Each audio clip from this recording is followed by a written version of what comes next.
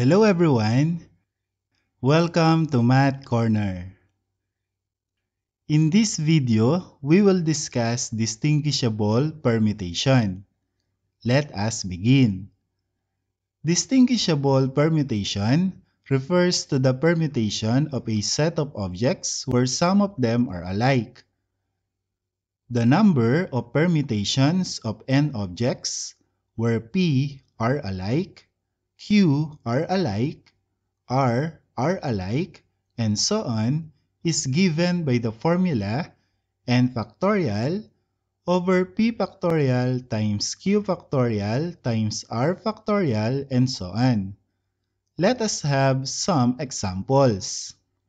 Example number 1. How many distinct permutations can be made from the letters of the word legend? The word legend has 6 letters. The value of n is 6. There are two letter E's, one L, one G, one N, and one D. Using the formula n factorial over p factorial times q factorial times r factorial and so on, we have 6 factorial over 2 factorial. It is equal to 6 times 5 times 4 times 3 times 2 factorial over 2 factorial. Cancel out 2 factorial, we have 6 times 5 times 4 times 3 which is equal to 360. There are 360 different permutations. Example number 2, how many distinct permutations can be made from the letters of the word success? The word success has 7 letters. The value of n is 7. S is equal to 3, C is equal to 2, U is equal to 1, and E is equal to 1. Using the formula, we have 7 factorial over 3 factorial times 2 factorial. 7 factorial is equal to 7 times 6 times 5 times 4 times 3 factorial all over 3 factorial times 2 factorial becomes 2 times 1. Cancel out common factors. Cancel out 3 factorial.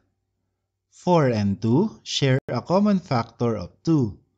4 divided by 2 is equal to 2 and 2 divided by 2 is equal to 1. 7 times 6 times 5 times 2 is equal to 420. 420 divided by 1 is equal to 420. There are 420 different permutations. Example number 3.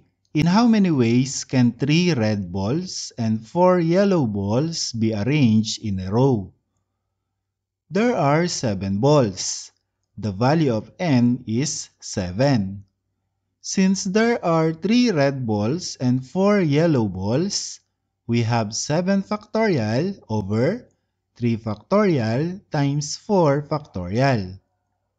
It is equal to 7 times 6 times 5 times 4 factorial all over 3 times 2 times 1 times 4 factorial.